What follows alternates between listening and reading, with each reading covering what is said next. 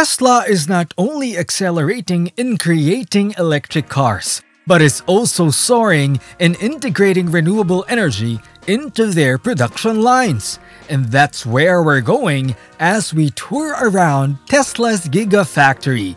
Secure your seatbelts and let's go around the facility.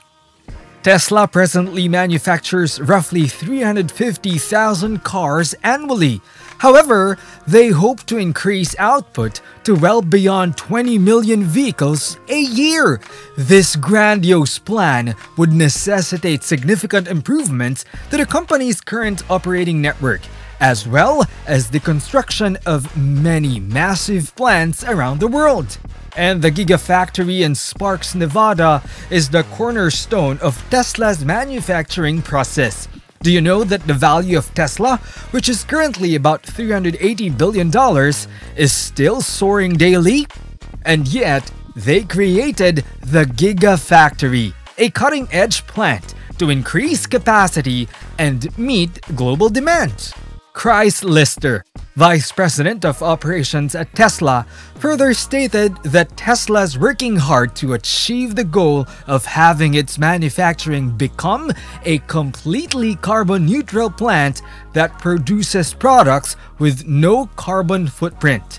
Meanwhile, Giga Nevada achieved profitability for the first time in 2020, largely because of the sharply growing market for Tesla vehicles. And after around 3.5 years of continuous operation, Panasonic's outlay of $1.6 billion on the Nevada facility started to pay off. When work on Gigafactory 1 started in 2015, it seemed as though Tesla was taking a huge bet. The automobile that was intended to build or destroy them, the Tesla Model 3, and on which Tesla just had hundreds of thousands of reservations despite early shipment potentially being more than a year away, really would filter out the cells required for such a vehicle. Interestingly, Tesla produced its proprietary batteries in collaboration with Panasonic. According to Panasonic, Tesla batteries' energy density could well be increased. A new agreement that would extend until 2023 was eventually signed by the two corporations after years of seemingly developing a partnership. Unfortunately, since forming deals with LG Chem and CATL to source cells in China, Panasonic is no longer Tesla's sole battery supplier. The very first constructed Tesla plant will operate as the prototype for what may someday be a number of enormous Tesla facilities worldwide. In the meantime, Tesla stated that demand for the Model 3 in the United States had surpassed its capacity in the previous years. And guess what? 7,000 people work at the Gigafactory, which is operational 24 7. Per minute, the Gigafactory produces approximately two battery packs. Tesla has demonstrated its capacity and desire to lower the price of battery packs as well as individual cells. The regular production is predicted to increase and is already projected to be roughly 5,000 per week. In 2021, the initiative aimed to cut expenses by $100 per kilowatt hour. For a very long time, they have been preparing for such a venture, including its enormous cost benefit. Nevertheless, they have performed exceptionally well in the industry. A group of extremely intelligent robots appear to work collaboratively with thousands of human staff at the factory. Using electronic maps, the robots move throughout the facility, a staff member even explained that they are actually on a fixed parity, and the ability to have items move throughout the day from storage to another location with no social interaction is beyond what it actually enables people to do. The purpose of aligning Gigafactory 1 to True North would have been to enable proper alignment of the solar panels mounted on the roof as well as GPS mapping of the machinery. Furthermore, the facility has already been planned to become totally energy independent. Tesla specifically proposes to use a blend of on-site solar, wind, and geothermal systems to power the building. Tesla power walls and power packs, which are intended for stable power storage for households or enterprises, have already gone into production. A power wall is similar to a large battery that sits on your walls ready to be used at any time. An average American household can be powered for three days by one power pack, which is made up of 16 Powerwall batteries stacked one on top of the other. And what's more interesting is that at least five states competed to entice Gigafactory by offering tax breaks, subsidies, and other incentives. California, Arizona, Nevada, New Mexico, and Texas are the other states with the company, despite San Antonio's larger incentives and sales tax exemption. Over a 20 year period, Nevada expects to pay around $1.9 billion in taxes. Following talks, Tesla decided to build the Gigafactory at the Tahoe Reno Industrial Center or TIRC, mostly because of its efficiency and a Nevada benefit deal. Rail connectivity, the ability to sell directly to consumers, and low air humidity to guarantee less than 300 parts per million humidity for each operation were other side factors.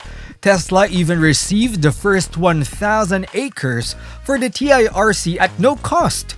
It was reported that the plant will have the largest footprint and the second largest capacity when it is finished. Despite receiving greater criticisms for waste in the plant, Tesla's planning system has numerous energy saving elements. In fact, extra energy from machinery like compressors and high temperature machines can be used to run machinery more effectively while also keeping the facility warm during the winter season.